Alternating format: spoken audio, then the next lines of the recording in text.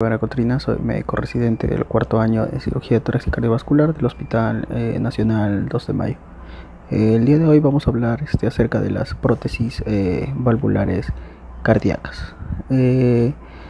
una prótesis valvular cardíaca es un dispositivo que puede estar hecho de metal y de plástico o puede estar hecho a partir de tejidos biológicos, a partir de tejidos de animales.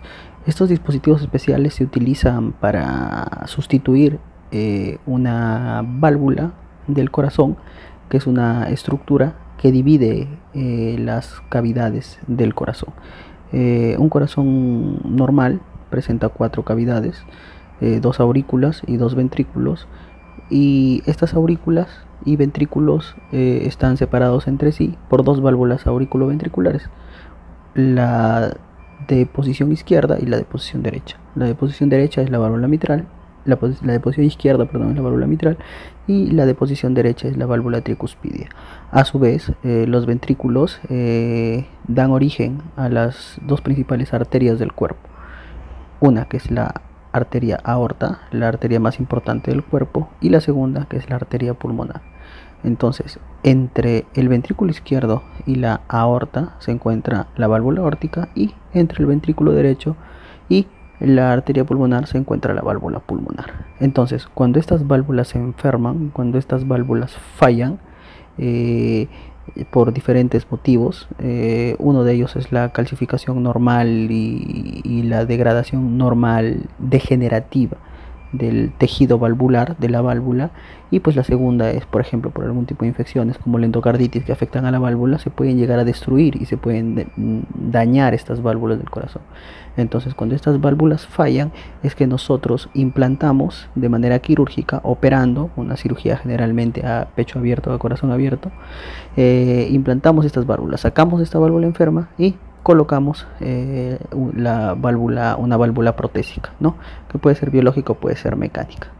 Entonces, esta cirugía eh, se realizó por primera vez en 1952. Se realiza la primera cirugía de, reemplazo de prótesis valvular.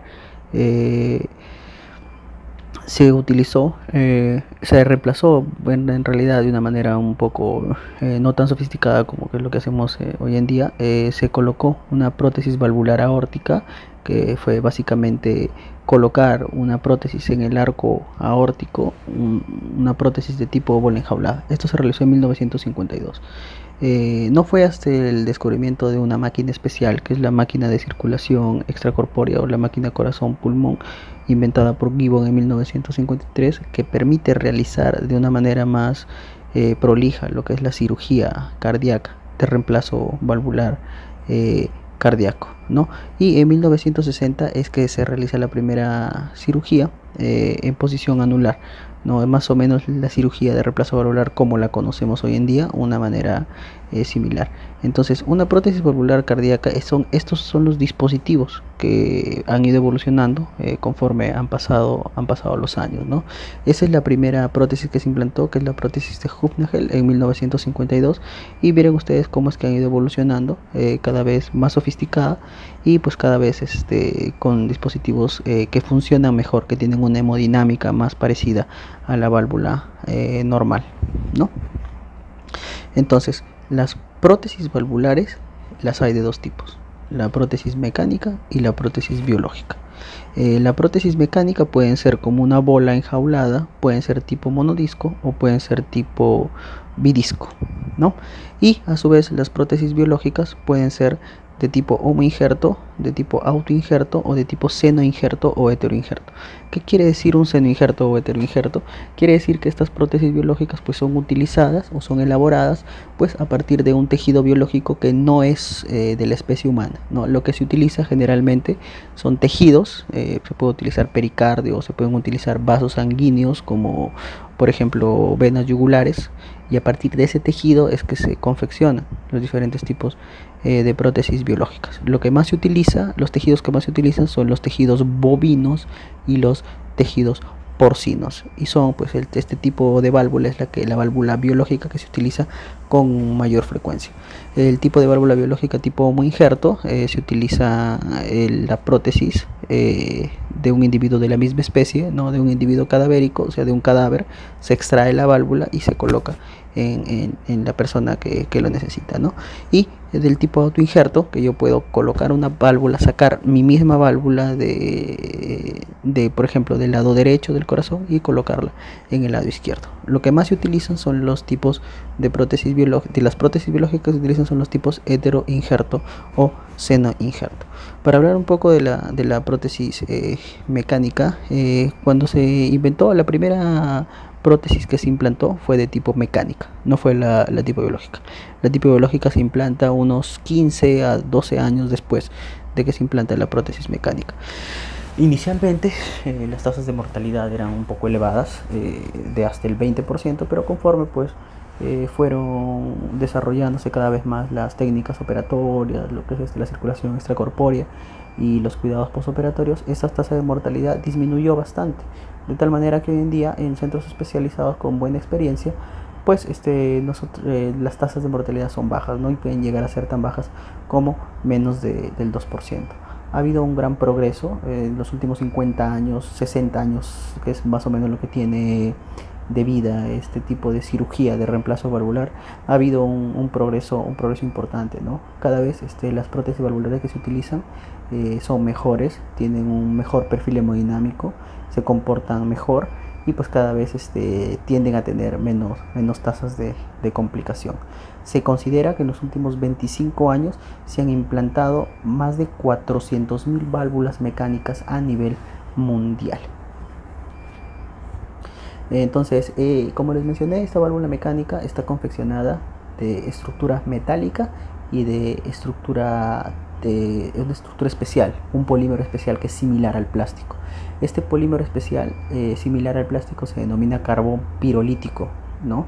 Entonces, que es una estructura eh, delgada, es una estructura que no es muy trombogénica, que a partir de 1970-1980 es que se descubre este, este, este material y pues eh, se, empieza a, utilizar para el desarrollo de, esta tecnología. ¿no?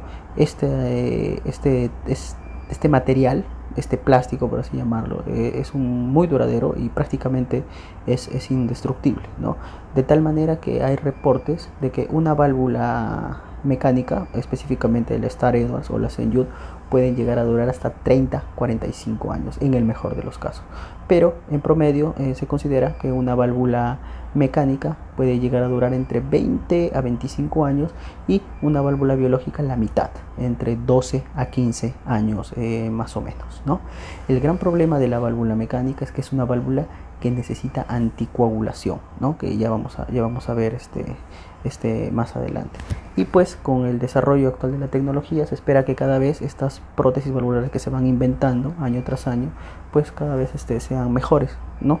Tengan un, se parezcan cada vez más a, la, a, la, a las prótesis normales, que pues tiendan a coagularse o tiendan a formar trombos eh, con menor, menor frecuencia y pues que en general le favorezcan al paciente, ¿no?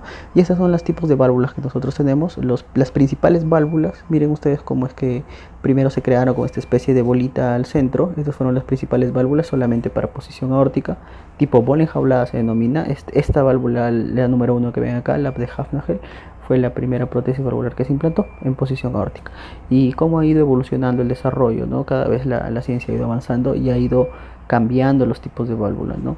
Evaluando siempre parámetros de función hemodinámica, evaluando siempre este grado de trombogenicidad, de etcétera, ¿no? entre, entre otros parámetros. Entonces pasó de esto, de este tipo de bola un poco tosco, un poco grande, a esto de aquí, a estas válvulas un poco más planas. Estas son los tipos de válvula de disco titilante o monodisco, ¿no?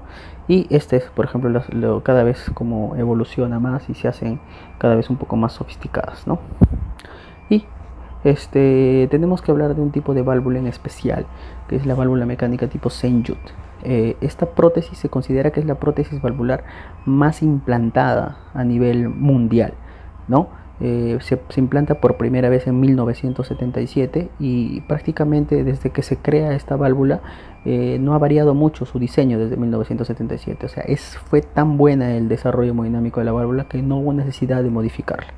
En general, se considera que a nivel mundial se han implantado más de 1.3 millones desde el primer implante, desde 1977 hasta la actualidad, de este tipo de válvula. ¿no? Es una válvula en general muy confiable, que tiene eh, muy buena durabilidad, dura bastante y que tiene una muy buena, muy buena función hemodinámica. Entonces, este tipo de válvula mecánica tipo Senyut ha ido evolucionando y básicamente ha ido eh, se han ido eh, inventando un tipo de válvulas un poco más sofisticadas siguiendo este mismo diseño de la válvula Senyut. Por ejemplo, esta válvula Carbomedics, ¿no? Esta es la prótesis valvular mecánica más implantada a nivel mundial, que es un tipo bidisco. Se llama bidisco porque como ustedes ven en la parte central tiene dos discos y por estos discos es que sale la sangre, ¿no? Hacia la aorta y pues este corrige la, el problema valvular que puede tener el, el paciente, ¿no? Y este miren la evolución, cómo es que las válvulas mecánicas van cambiando desde este dispositivo tipo bola enjaulada, pasando a los dispositivos eh, monodisco, disco titilante o disco oscilante, hasta este, este tipo de válvula bidisco, ¿no? como la Senyut, la Carbomedics y la Medtronic, ¿no? que son válvulas que se implantan con relativa frecuencia. Entonces, el gran problema de este tipo de válvulas mecánicas es que al ser un cuerpo extraño eh, tiene tendencia a, a, formar coágulos, entonces la válvula se puede coagular. Entonces, un paciente que tiene una válvula mecánica, que porta una válvula mecánica, tiene que estar anticoagulado. ¿Por qué tiempo? De por vida. Nosotros decimos que estos pacientes se anticoagulan porque eh, toman unos fármacos que impiden que la sangre se coagule, los famosos anticoagulantes. El anticoagulante más utilizado en nuestro país y a nivel mundial son los inhibidores o los antivitamina K, como por ejemplo la warfarina. La warfarina es el fármaco anticoagulante que todo paciente que tiene una prótesis valvular, ya sea mecánica o biológica, pues debería, debería, debería tomar. Entonces, eh, hay otros tipos de fármacos anticoagulantes que eh, se podrían utilizar, pero no se recomiendan, no están utilizados todavía, no están recomendados eh, el uso de otro tipo de anticoagulantes diferentes a la warfarina para pacientes que portan este tipo de prótesis valvulares. De tal manera que todo paciente que tenga una prótesis valvular, ya sea mecánico o biológica, tiene que tomar su warfarina de por vida. Y ¿Por qué tiene que tomar la warfarina? Pues como ya mencionamos, tiene que tomarla para evitar que su válvula se trombose, ya sea válvula protésica o válvula mecánica. La diferencia es que la válvula protésica mecánica eh, necesita anticoagularse de por vida, para siempre, durante toda la vida del paciente. Y si el paciente tiene una válvula biológica, la anticoagulación en general solamente es durante los primeros seis meses. Y posteriormente el paciente podría tomar solamente antiagregantes o dependiendo del modelo de válvula que tenga pues ni siquiera necesitaría tomar otro tipo algún tipo de terapia anticoagulante. Entonces todo paciente que porta prótesis valvular y que toma warfarina necesita unos controles de INR ¿no? Eh, que es la manera de evaluar si es que la warfarina está funcionando o no si es que está haciendo efecto y que si efectivamente eh, la válvula no se va a coagular entonces, este examen se debe realizar quincenalmente o mensualmente, eh, dependiendo, y el rango que tiene que tener estos pacientes de INR tiene que ser entre 2 o 3. Siempre tiene que estar entre esos rangos. Mientras el paciente tome su warfarina todos los días y su rango de INR se mantenga en 2 y 3, la válvula que el paciente tiene va a funcionar de manera adecuada. ¿no? Entonces, y bueno, eso sería todo. Muchas gracias por su atención.